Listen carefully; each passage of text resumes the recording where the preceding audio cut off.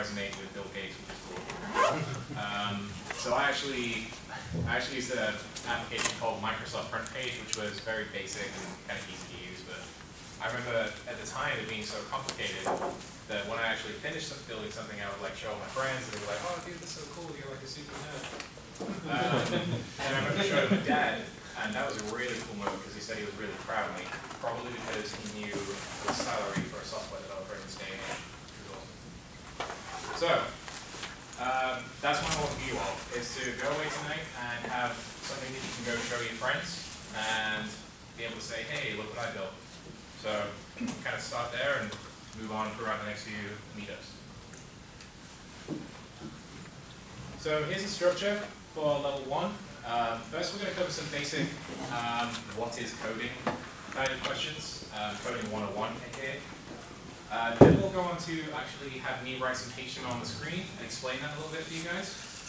And then I'll hand it over to you and ask you to build a basic website about yourselves where you'll talk about what your goals are in learning to code and yeah, build something cool for your friends.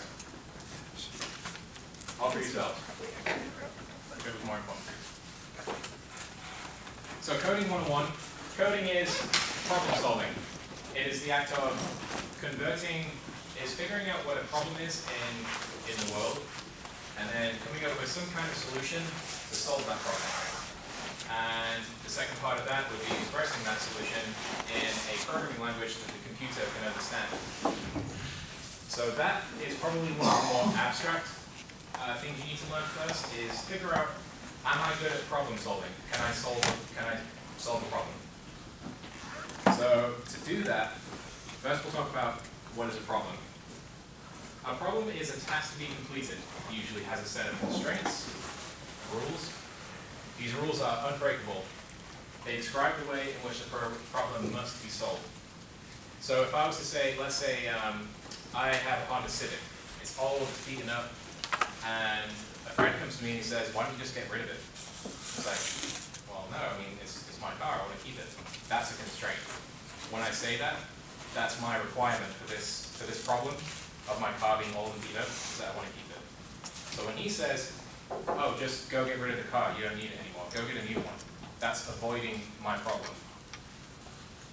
Okay? So that's kind of an example of what that looks like. I want to basically do some problem solving exercises with you guys. Uh, there's two main ones. They're fun. Uh, the first one is the fox, goose, and corn problem. Now, for the origin students in the room, you are banned from taking part in this exercise.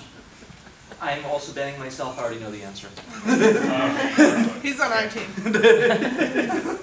Alright, so it's pretty simple. A farmer with a fox, a goose, and a sack of corn needs to cross the river from A to B. The farmer has a rowboat, but there's only room for the farmer and one of his three items. Unfortunately, both the fox and the goose are hungry. The fox cannot be left alone with the goose, or the fox will eat the goose. The goose cannot be left alone with the sack of corn, or the goose will eat the corn. The corn cannot be left alone with the goose because the corn will eat the goose. No, that's not a problem. Anyway, how does a farmer get everything across the river? I'll hand it over to you guys to discuss. What do you think? Take your time. Mm-hmm. First time I went to it, it took me forever. It's just in a hospital. No one? Can we add a hint? Some kind of hint? Yeah. No. I know, I've been banned. I'm sorry. I'll, I'll stop talking. I'm eating my pizza. So, remember that the fox cannot be left alone with the goose, because the fox is going to eat the goose. The goose cannot be left alone with a sack of corn, or the goose will eat the corn. So which one, okay, let's start, let's start by breaking down that problem. Which one can we take first? What is the first of those three we can take across the river? I heard something, what was that? Who can be left Corn. alone together? Think Who about that. Who can be left alone together? Restate the problem. Fox and corn. Corn. The. Interesting, you've included the farmer. Okay, so actually, let's add that constraint. Thank you for breaking my presentation. Okay, let's not include the farmer in this, in this scenario. Let's just imagine that the farmer is the driver of the boat. So he can carry someone with him. There you go. Mine is like, So who can go first? fingers to this, I'm like, well, can he and the goose swim? Hmm? So if we go through step by steps, what happens if we take the fox across first? What's gonna happen while the farmer's gone? The goose is the corn. Yeah, the goose eat the corn. So we can't do that. What happens if we take a sack of corn? Fox need the goose. There you go, you're getting it. What happens if we take the goose across? Nothing. Fox Nothing, we're in a good state. So that's our first, that's, there we go, that's our first operation, that's the first line of code as it were. We need to move the goose over first. What is the next thing we do? So what would be, the- who would be the next person we drag across? I say person, animal slash inanimate object. Oh, the corn. Take the corn? So the goose is over there, and then we do what you say, we take the corn over, Ah, now we come back, and and the goose is just eating the corn. Yeah. But the fox need the goose. So we take the fox across, and now we come back and the fox is eating the goose, which is great for the fox, not great for the farmer. So what can we do? Wait, you're putting a constraint at the beginning that, that they can't eat each other. Right? Are we putting them there's in a cage? Constraint saying that they can't do it, that they can't eat. There's a So constraint the you're assuming that is not there. Huh? I, I'm, I'm giving them a hint. There's a constraint you're assuming that isn't there. That's Take- right. Take the. Exactly. There you go, ah. you just got it. So what happens is, we have our goose on the far shore, Yep. and then we take the fox across, And then you bring the goose. bring the goose back. Then we take the sack of corn, there you go, he's got it. Mm-hmm. And then you bring the goose. Does everybody else understand that? Yes. Yeah, well, I can do better than that, I can show you in steps. So just so you know, these slides, I'll be posting these to the meetup so you guys can see them and kind of read over them, if you want to show your friends and of like, I don't know, maybe, I know, you're a problem solver, whatever. Anyway, so there's the trick step. That one right there, when we bring the goose back. Now, most of you wouldn't have thought to do that, but because we, what I was doing there was working with you and trying to restate the problem, trying to figure out the trick step. Unless you have some pre-existing knowledge of problem-solving ability, it's gonna be really hard for you to learn how to code. So there are some tricks you can do, and I will recommend a book, anyone who's interested. It's called The Art, uh, what's it called? I've forgotten the The name. art of deception? Huh? Wasn't it the art of deception? I'm not trying to see someone's day. Which one was it then? It was The art how of to the be deal. a creative programmer, or how to be a creative problem solver. Oh, I'll- yeah. I'll find it at the end of the, of the talk. I can find it on Slack. Okay. So, like I said, restating the problem is a great technique for gaining insight, aka talking through the problem. Thinking about the problem is almost more, always more productive than thinking directly about the solution. So instead of the farmer just trying randomly to try and bring everything across and running into errors all the time, thinking about the problem before we take action helps us take, make better decisions, better problem-solving abilities. Uh, quick side note, this is why I recommend something called rubber duck debugging, so if you don't already, I would recommend getting a rubber duck that you can just talk to, because someone else is not going to want to listen to you. Can all the Origin students in the room hold up your rubber ducks? Oh, man. Wait, wait, wait, wait. It's in here. I also Make have a sure all desk students toy. have these when they start. It's kind of fun, I have my own rubber duck. Actually, no, I have a bobblehead Groot. I just think that- Yeah, I have a bobblehead Matt Groot, why is Smith. that so- why is it- He's much cuter. I don't know where it is. So, we're gonna do one more problem before I That one's blue, dive into some actual coding, Yes, it is. Okay. and that's the knitting problem. Origin students, you got a pen? Ah, you're so mean. There is a grandmother babysitting her baby, grand, sorry, I I put that in a new paragraph, I always read that wrong. There is a grandmother ba- gra- come on, basic English. sorry. There is a grandmother babysitting her baby granddaughter while knitting. In order to get her knitting done in peace, the grandmother put the baby next to her in a portable playpen. The baby doesn't like being in the pen and keeps on crying. The grandmother has tried all sorts of toys to make the pen more fun for the baby, but nothing works. What is the solution? What can, what operations, what steps can the grandma take to solve this problem?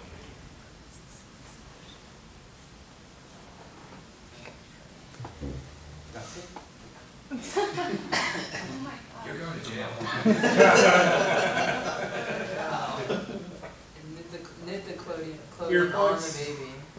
Huh? Earplugs. Earplugs, but then the problem is that doesn't solve the problem, that's avoiding the problem.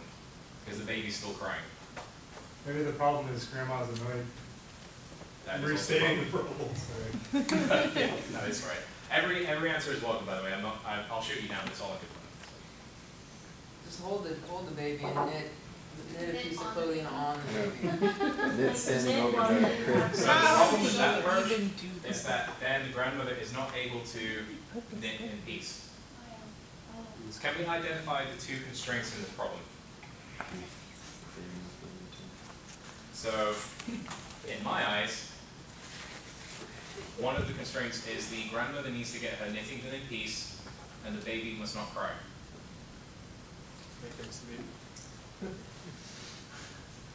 Drug the So baby. what is it with everyone is suggesting giving whiskey to the baby? You people and your illegal activities, oh. we don't condone this. No, you don't give whiskey, you give gin. Okay. She knits, she well in the playpen and the baby's not in the playpen.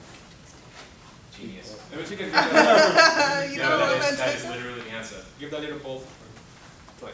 You should code. Put the grandmother in the pen and let the baby play on the carpet. We thought, see, what you did there was you thought outside the box. You thought, okay, this isn't obviously what the grandmother would really do, but it solves the problem. And it doesn't avoid the problem because grandmother is there happily knitting in peace. And let's assume that, you know, it, we didn't cut her in half. Um, lovely old PowerPoint. Um, that we didn't cut her in half. Uh, the, gold, the grandmother is able to knit in peace, and the baby can play happily on the carpet while the grandmother is inside the pen. Okay. So, try to identify the constraints is a helpful thing to solve these kinds of problems. Try to identify the operations that create the solution, and talk to your rubber duck. Get a rubber please. Okay. So quick, quick summary on problem solving. If you want to learn how to code, you're going to need to get good at solving problems. Don't get frustrated, because the, the more you get frustrated, the less likely you are to be able to solve the problem. I think most of you did pretty good tonight. You have beer and pizza, there's no reason to get frustrated. It's very good, very relaxed. And pretty much you can do it. With enough time, and dedication, learning to code is something that you can do.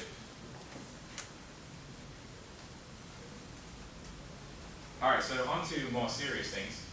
Um, that's a good preparations for the five, a good preparation for the five levels, all in all. Um, tonight we're gonna keep it simple, and just build something that you can take away with you, which is a HTML website. So, before I actually talk about HTML itself, I wanna talk about the different components that, when combined, build up a website as you know. So, I'll actually throw this over to the room. Can anybody name the three things that build up a website? HTML, CSS, and JavaScript? Yep, if you look on any job resume, they usually all write that in threes. I've had recruiters come to me like, can you, can you write HTML, CSS, and JavaScript? Maybe. So, HTML, CSS, and JavaScript. For those who care, it's HTML is hypertext markup language. CSS stands for cascading style sheets, and JavaScript stands for pain and misery. So if we think about, if we put, use an analogy of a house, the HTML would be kind of like the building blocks of the house, the bricks we can, we put together, uh, maybe some of the framing of the house, very built stuff. When put together, kind of doesn't really look like much. When we start to add CSS, that's when we start thinking about how, how do we want to style this house? What's my personal style for this house? Uh, what color do I want the walls to be? What kind of carpet do I want on floors? What ceilings do I want? Those kinds of things. The JavaScript would be like the electricity and the plumbing in the house. And then all the different appliances that use that electricity and plumbing. The interactivity of the house. So HTML, we're laying out the page, and it looks kind of bland and all the same. And then we use CSS to make that site kind of look nicer. And then JavaScript to make it well, interactive. Does anyone have any questions at this point about how websites are built?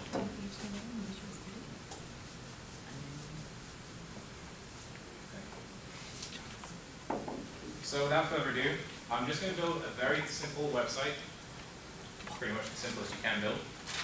And to do that, I'm gonna swap over to a text editor called Sublime, oh, it's not on your screens, I forgot I have two screens. Who knew? So, first of all,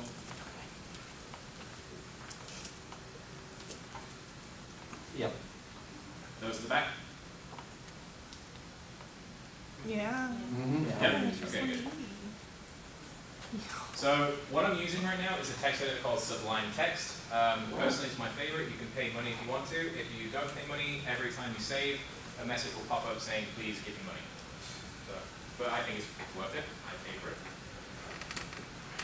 And it's basically a glorified notepad.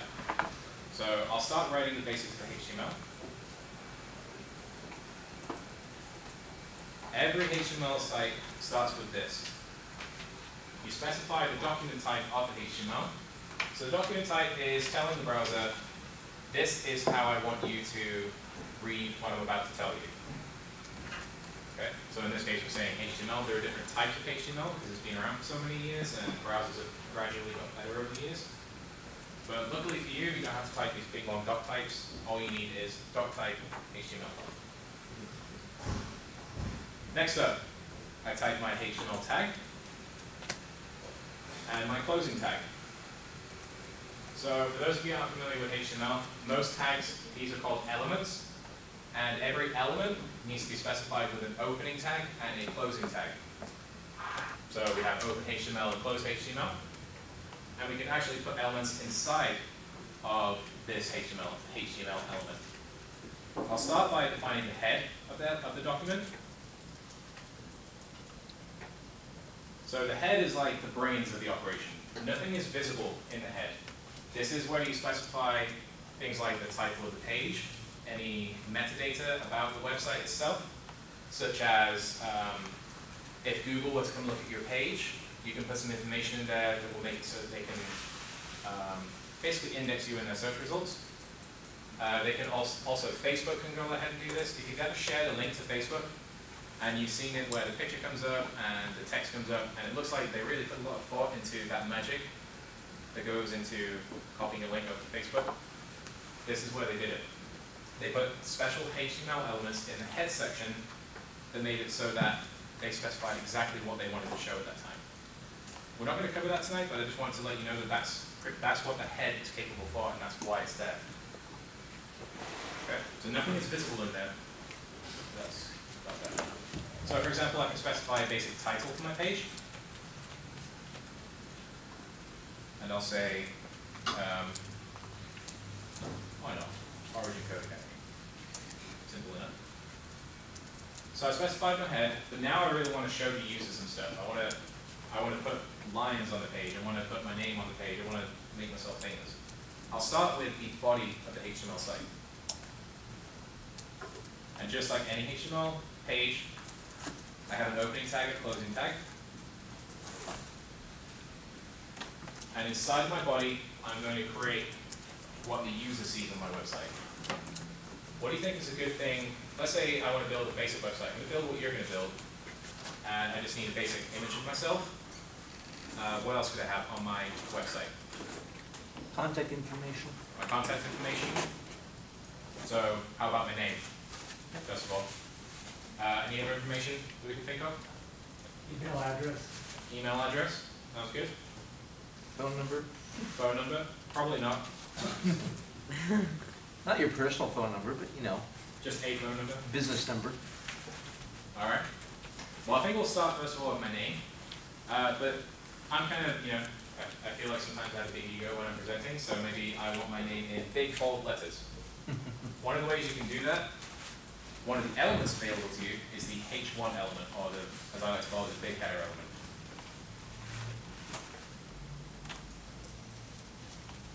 I'll put my name there in big letters. And what else can I put in here? So maybe something a little smaller now. Maybe a little subtitle by myself. So actually what I'm going to do is use H2. This is a slightly smaller header, header element, So the first thing that shows up,